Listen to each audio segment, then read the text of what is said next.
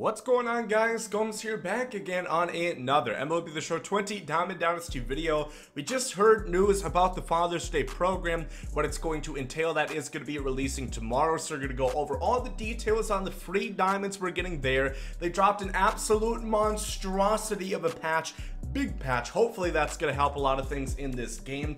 Hints towards the new headliner coming tomorrow should be a big diamond. And uh, yeah, a lot of news to go over. But before we do, as always, make sure to leave a like down below if you guys have been enjoying the videos. Subscribe if you guys are new, getting really close to 40,000. Let's see if we can hit it today or tomorrow on a huge update, including Ducks on the Pond 2. And uh, big gameplay coming later tonight. Make sure you guys go ahead and check that out.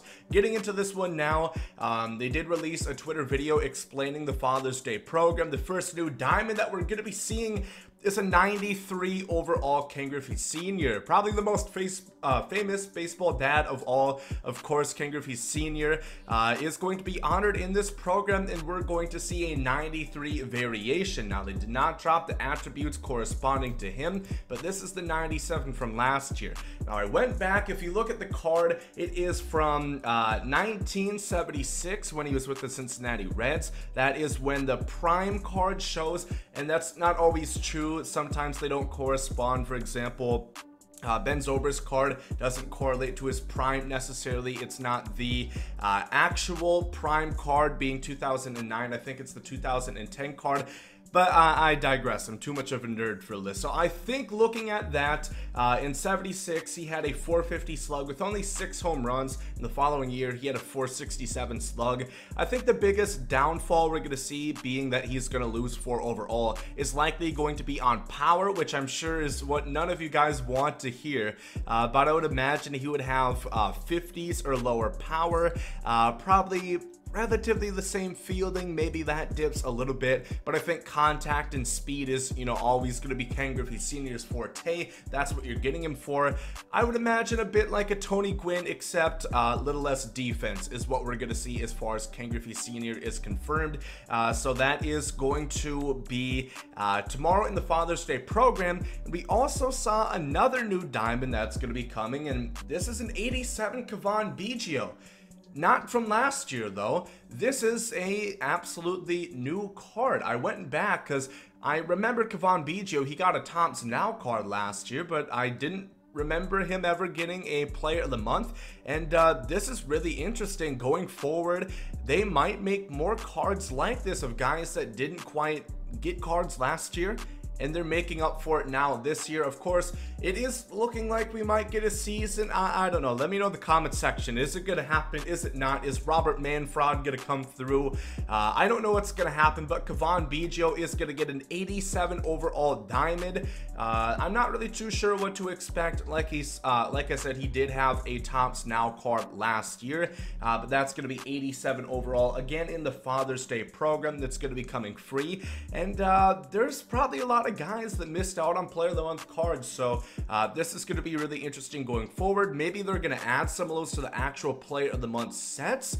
Um, but I'm really curious to see what they're going to do with this. And I think it's a great idea. You know, if we're not going to have a season, at least for the time being, I, think this is something they might have even wanted to do earlier in the year, uh, but I'm uh, gladly welcoming this for sure. So that's going to be two new diamonds coming. Uh, and then we're going to have a map preview. Like I said, there is going to be hidden packs within here. Uh, I'll grind that out pretty quickly. Tomorrow I'll have a video on all the hidden packs. Uh, so that is going to be how it's going to look. Nice dad. Just kind of the same thing alongside, um, you know, all the Conquest maps it is oriented around. And uh, then a bat skin is going to come out for free too. The Father's Day bat skin is going to be uh, part of the program as well.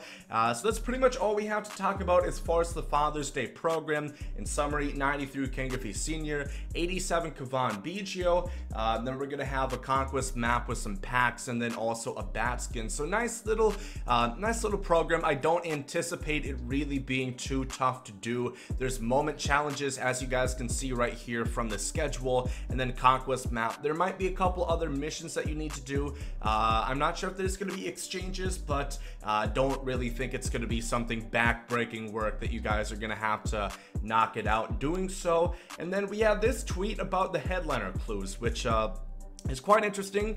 You know, there's always the debate. Does this actually mean something? Technically, they are all right in a way. This one, as you can see, is quite short, so it should be pretty easy to guess. Um, and what most people are thinking, and myself included, is going to be Joey Votto. You know, this is a card we talked about yesterday as far as my Ducks on the Pond predictions. Uh, we've been needing a first baseman for quite some time. We haven't gotten one in uh, quite a while and Joey Votto fits fits like a glove. You know that name fits right inside the question marks. Now, there's obviously, I'm sure, more guys that fit there, but being that we're seeing 99 Jo Adell and we're seeing 99 overalls being pushed out in the fifth inning program, it seems headliners are going to follow suit, and this would make a lot of sense. It would be pretty good timing for a 99 or maybe a 98. Joey Votto, we're not for sure it's going to be a 99, but I definitely think his career is deserving of a 99. Uh, but this is his card from last year. He was also a pack card. He was in the signature pack, and I would be really happy with this card. You know, he would be really, really good. Great contact. Uh, vision is at 92. Really good power. Um, defense at gold is nice. He doesn't have an arm, but you don't really need that at first base. 53 speed is um, about average for first base. And on top of that, he's a nice lefty swing, which I think we all can uh, you know, really get off to, myself included, uh, myself especially. Uh, so I would love to see Joey Votto into the game. Again, not confirmed. Uh, it just does look likely that is what we are going to be seeing. It's uh, probably an MVP Joey Votto in the headliner set headliner set 29 pack that's going to be happening. Uh, also want to make sure that you guys are aware that Scuffy McGee is going to be revealing uh, his Ducks on the Pond card. That is going to be uh, tonight. I will uh, show you guys the tweet that he had, and uh, I'll also link you down to uh, where he is going to be revealing it, so make sure you guys check that out. I still think it's going to be Tom Seaver, Matt Harvey potentially, Todd Frazier, and Jay Bruce. No, stop it. You you guys are really really reaching right now. I don't think it's going to be either of those two. I think likely Tom Seaver's, who we're going to see as far as that is concerned.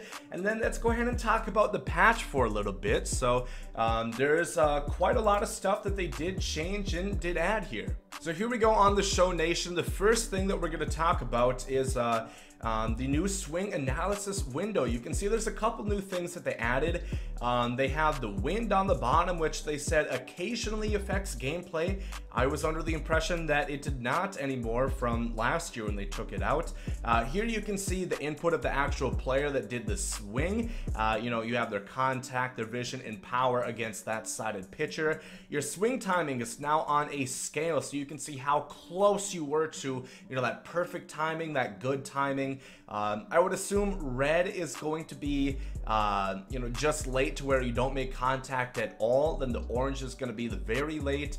This is kind of the just late. Uh, then we get into, you know, the good, the perfect, and that, so on and so forth. They also show the exit velocity as uh, alongside the corresponding launch angle, and then also the result, which is in scorebook keeper's terms. So uh, if you get a single, it's called a 1B, a double, it's called a 2B. Um, so it's pretty interesting. Now, this doesn't exactly affect gameplay. It's just more uh, revealing, I guess you would say, as far as understanding how good, uh, how close you were to um, getting a certain timing and more so explain the result that you actually did receive right there. So you can see a little bit more in detail as uh, from what I just explained right there. And uh, it is pretty interesting. Let me know if you guys have played any games on the new patch. Let me know how you guys like this. Let me know in the comment section. That did go live earlier this morning. I've yet to play a game on there yet.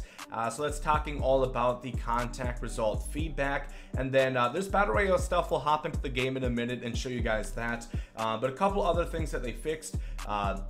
Fixed. Several fixes made to outfielders reacting to and catching balls in the outfield and or near the wall. Big thing right there. This happens all the time. The lock-ons have been improved, but against the wall, uh, I, I really don't know what's going on. It's like you're entering the Bermuda Triangle. Everybody, the, the glare must be just abominable. Just searing through even Reggie Jackson's glasses because he makes so many dumbass plays. Hopefully, that is going to help the cause. Fixed an issue that will cause the player to lose control of the defensive fielder after throwing to a base. Um, I think that's really the only major one that we saw right here. Everything else is kind of minor.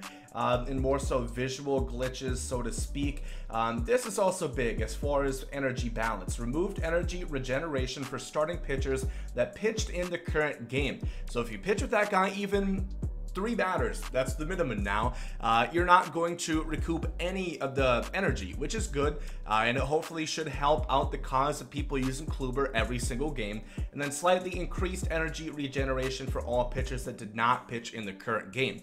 So this is more so going to uh, make you think, really, do you want to use this guy? Because if again, a Kluber situation, if you were to bring him out of the bullpen for just one little situation, he is not going to gain back any energy. Whereas if you don't pitch him, he's going to gain back a uh, boosted um, amount where he usually would have. So that's all the gameplay stuff. Let's go back into the game and talk about Battle Royale. Couple things here to talk about Battle Royale changes. Uh, updated diamond rounds. The first one is always guaranteed to be a 99 through 97 overall. And your second diamond round, there is still only two, is going to be a 96 to 90 overall. So right now you cannot get any 89 through 85 overall diamonds, which is interesting. Uh, not a huge fan of that. I would rather they added a third diamond round because there's a lot of cards that are, you know, fun to use in Battle Royale, such as a Derek Dietrich. A lot of people like to use him, uh, but entries are now also free until the 26th. They did this because, of course, we have the tournament,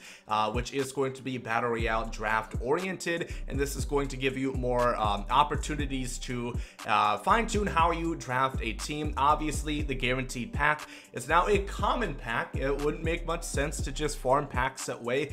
Technically, if you guys really want to try and make some stubs. Uh, you would just keep going through drafts. It is free. It's just going to take you a little bit of thumb strength, a little bit of depreciation on your blue book value of your X button on your controller, and uh, time and you can get common players. You can put them in bronze exchange packs. Uh, don't recommend this. Use your time. Otherwise, there's flipping, there's market stuff. This is not a great way to make stubs, but I guess if you really want to have um, absolutely no focus while you're watching something on Netflix, this is viable. I guess you could probably, you know, if you're gonna watch a Lord of the Rings movie, which is God knows five, six, seven hours long, uh, maybe you can make 2,000 stubs by the time that is all over. So that's the new stuff in Battle Royale. That's the update, the Father's Day program. Two new diamonds coming, Griffey and Cavan. Biggio, Battle Royale changes, the big patch. Again, let me know if you guys have any comments, concerns, questions about any of the stuff we talked about there. Hopefully Joey Votto and then Scuffy's uh, Ducks on the Pond card coming tomorrow as well. Big update, good stuff to talk about. If you guys did enjoy this one, make sure to leave a like down below. Thank you all for watching. Hope you guys have a great day. There comes out.